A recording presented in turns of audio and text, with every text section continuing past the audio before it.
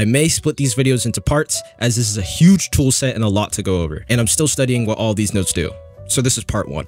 So what Vonk nodes are, or Vonk Ultra technology, they create data-driven graphics with the help of a large collection of modifier nodes and a fuse-based 2D and 3D vector rendering engine.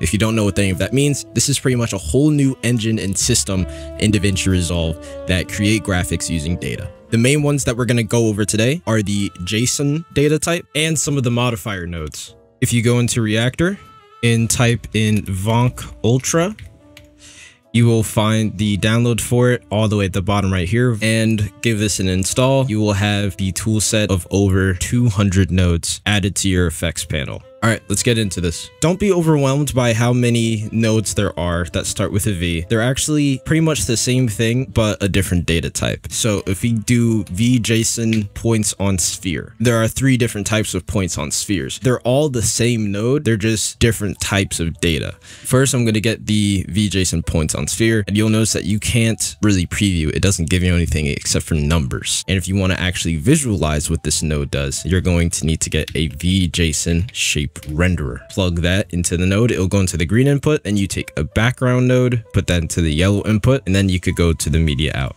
And now you have these points on a sphere, VJSON camera projection. And this camera projection is pretty much like the 3D camera, but for this set of data. So another thing that's really cool about this node, if you don't know what you're doing, at the top of the node, it will show you what they're supposed to be connected to. So if you're trying to figure this out on your own, those little tidbits at the top can help you quite a lot. Adding a VJSON unpacker, then a VJSON packer.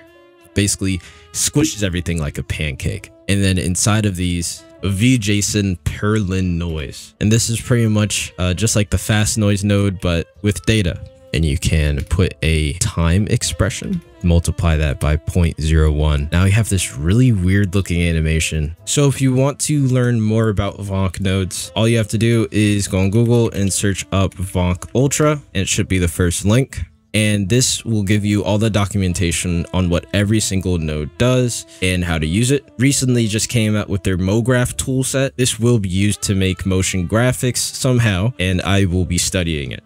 Anyway, stay tuned for the next part. Adios.